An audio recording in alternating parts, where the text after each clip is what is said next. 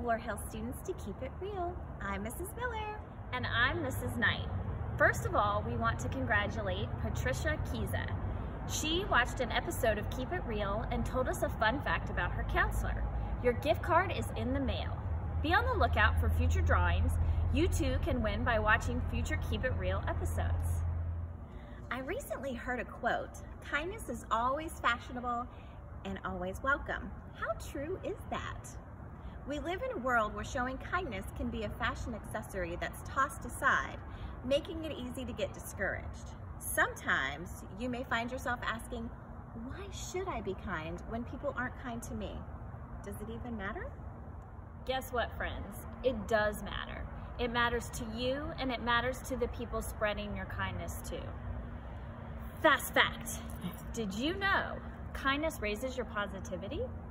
When you practice kindness, positivity increases and it spreads out onto the world, attracting others with the same energy and making your life brighter. Be an individual who spreads kindness and let your kindness cause a ripple effect of positivity that comes back to you in many ways.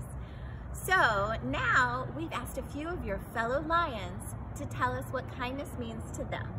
Hi, my name is Collins, and what does kindness mean to me? Kindness means to me that you're being courageous, um, you're giving more than you take, you're being selfless, um, you're being real positive for others around you, you're being a light in people's dark, um, you're being respectful of other people's feelings, you're being affectionate and showing empathy, um, and just overall being a really nice person. Hi, my name is Hunter, and this is what does kindness mean to me? Kindness to me means to always be respectful no matter what and just treat people the way you want to be treated. Hi, my name is Jackson, and what does kindness mean to me? Kindness is being caring, loving, passionate, and at the end of the day, sometimes selfless. Um, it is taking the extra step out of your day to make other people feel better, and hopefully in return, they make you feel better by giving the kindness right back. Um, it could be what it could be in the form of a greeting or complimenting somebody or just maybe making a new friend and talking to other people. Um, and I definitely feel that it is one of the most important things, especially at a time like this where social media constantly displays hate and, so, news outlets always talk about just negative things when in reality there's a lot of good that goes on the world that doesn't go noticed. So that is what kindness means to me. Having a positive energy towards another person is kindness. I believe kindness can be showcased by showing respect and listening to other people, whether you agree or disagree with them.